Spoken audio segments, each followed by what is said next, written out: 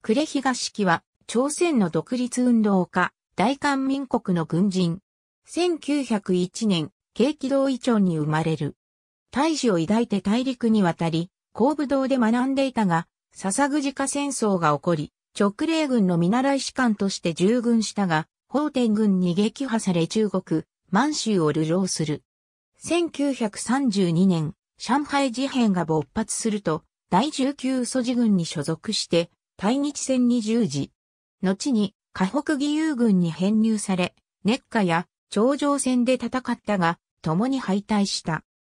1937年、シナ事変が勃発すると、山東地区において、朝鮮人を救護し二個大隊を組織して、遊撃、暴略戦に任じたが、憲兵隊に逮捕され9ヶ月間、極者で拘束された。その後は、山東地区で秘密工作に従っていたが、終戦の頃は、中国軍山東地区軍西部教材局弁事所、組長に補せられ将校であった。そして終戦とともに、反共民会において、朝鮮籍の兵士を集めて、軍事教育を担当した。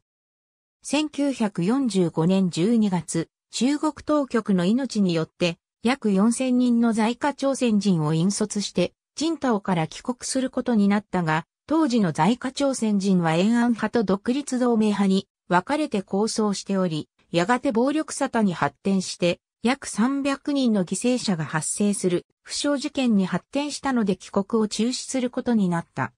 1946年2月、個人の資格で帰国し、幸福青年会総務部長兼企画部長を務める。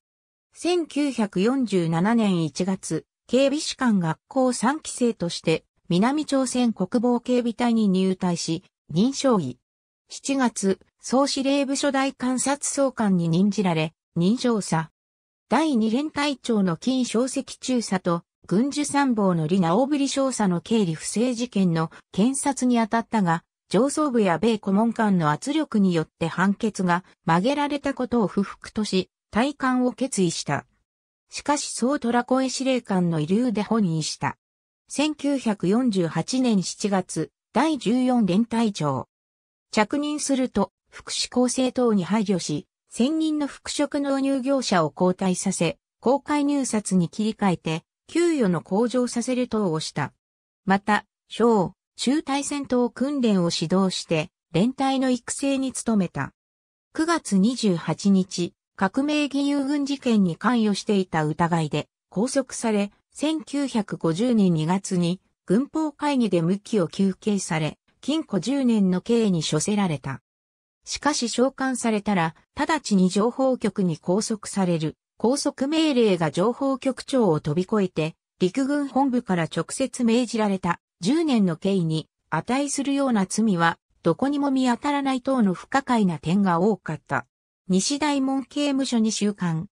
朝鮮戦争が勃発し6月28日にソウルが陥落すると北朝鮮軍は刑務所を解放して囚人に協力を誓わせたが、呉東木は胃腸病を理由に断り監獄に泊まった。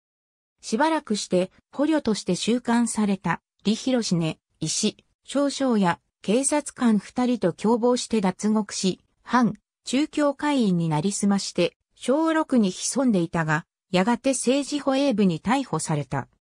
健康が回復すれば協力するという偽証文を出して8日後に釈放される。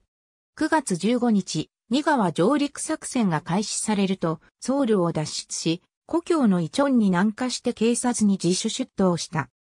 まだ7ヶ月ばかりしか服役していなかったし、身の潔白を証明したかったためだという。